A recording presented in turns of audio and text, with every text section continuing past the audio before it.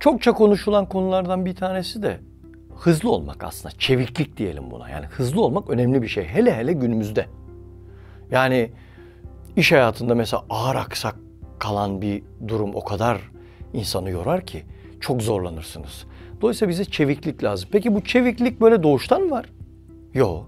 Kazanılan bir şey. Neyle kazanıyoruz bunu? Çalışarak, gelişerek kazanıyoruz. Benim işte kariyerimin başlangıcında belki hani benim konuşmamı dinleyenleriniz olmuştur. Yani çok ciddi bir süreç var. Bir sürü şeye rağmen işte o arzu var, istek var. Dünya çapında başarı kazanma arzusu var. Onun için ne gerekiyorsa yapmak var. Azim var, hırs var. Yani var böyle anlatıyorum çok kolaymış gibi de. Ama insan isterse bunları yapıyor. Ve ben yapmışlardan biriyim. Zahmete girenlerdenim yani. Dolayısıyla şimdi bu çevikliği nasıl kazanacağız? Onun altını çizeceğim ben. Kariyerime ara verdim. 7,5 yıl kadar. Belki medyadan takip edenleriniz olmuştur. Sonra tekrar sahalara döndüm. Sahalara döndüğümde yaşım oldukça ileriydi. 50 yaşında sahalara döndüm ben. Ve 57 yaşında da tekrar Dünya Kupası'nı kazandım. Bunu böyle böbürlenmek için söylemiyorum. Yani belki televizyondan takip etmişsinizdir böyle hani yes yes yes yapıyorum böyle orada. Hani daha top yoldayken. Orada aslında dünyaya falan gününü göstermiyorum. Kendime aferin diyorum. Başardın oğlum diyorum. Peki nasıl başardım bunu? Pandemi yaşandı. Krizler yaşandı. Ben kariyerime tekrar döndüğümde tabiri yerindeyse çok sağlam dayak yedim. Ama şunu bildim.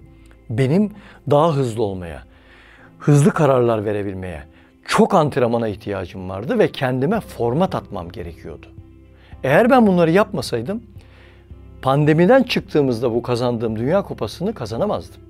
Dolayısıyla o döneme borçluyum bunu. Yani öyle bir hazırlık dönemi geçirdim ki çeviktim, hazırdım, doluydum. Kendimi tabiri yerindeyse yıktım, yeniden yaptım. Artık hazırdım. Çünkü çeviklik öyle bir şeydir. Yani bir koşucu düşünün. O böyle durur ya e, tam koşmaya hazırlanırken o kadar çevik durur ki orada. Çünkü onu görürsün onun bütün kaslarında, vücut dilinde o hazırdır. Hazırdır artık. Ama antrenman yapmamış bir atleti oraya koy. Dersin ki bu koşamaz. Onun için hazırlık, çalışma her şeydir. Hayata hazır olmak, hayatın hızına ayak uydurabilmek için çevik olmak şarttır. Bunun için ne gerekiyorsa da yapmak gerekiyor. Ben kendi adıma bunu yapanlardanım. Hiçbir zamanda şuna takılmadım. Yani aman bu yaştan sonra şunu mu yapacağım, bu yaştan sonra bunu mu yapacağım?